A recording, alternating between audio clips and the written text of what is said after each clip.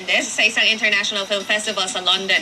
Napaiyak daw si Aiko nang tawagan siya ni Direk Louis Ignacio para sabihin ang good news. Tinalo ni Aiko ang sampung iba pang aktres mula sa iba't ibang bansa para sa foreign language film category ng 7th International Filmmaker Festival of World Cinema. Para ito sa pagganap niya sa independent film na Asintado. Mas inspired daw ngayon si Aiko na magtrabaho at idineded, or idineded, idinededicate niya ang panalo sa kanyang mga anak.